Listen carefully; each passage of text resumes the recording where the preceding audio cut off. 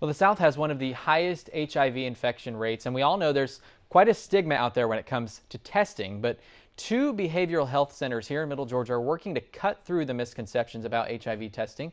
And here to tell us about a family fun day with free testing is Crystal Wilson. She's the HIV EIS coordinator at Phoenix Center Behavioral Health Center in Warner Robins. Crystal, thanks for being here. We appreciate it.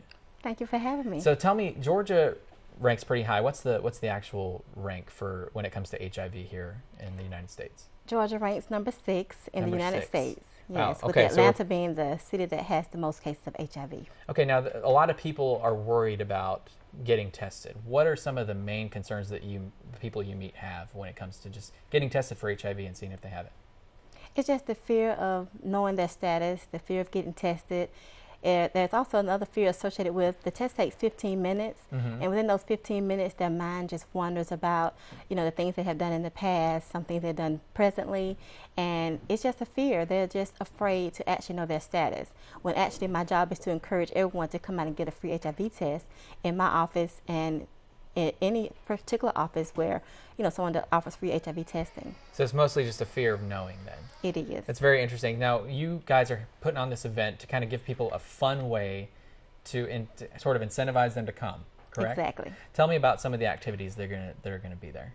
Well, we're going to start the day off at 8 a.m., which is this Thursday, June 27th, um, from 8 a.m. to 4 p.m. at the River Edge parking lot, which is located on 175 Emery Highway. Okay. We're going to start at 8 a.m. with uh, a march or a walk around the actual parking lot in honor of the people who are affected by HIV, someone you've known that's died, someone who's positive, just in their honor. And once that particular event has started, then we'll have a health fair.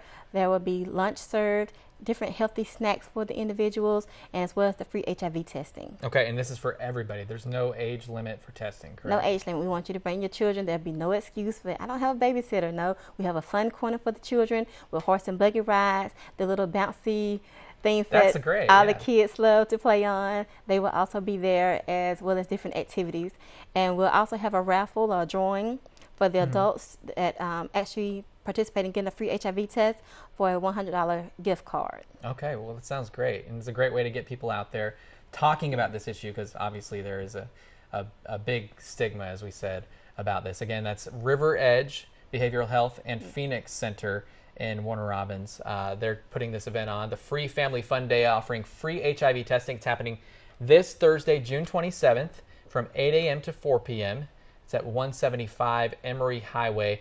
It's happening at the green space adjacent to River Edge's parking lot. There's going to be an AIDS walk, free food, snacks, bouncy houses for the kids, as we said, and again, of course, free HIV testing.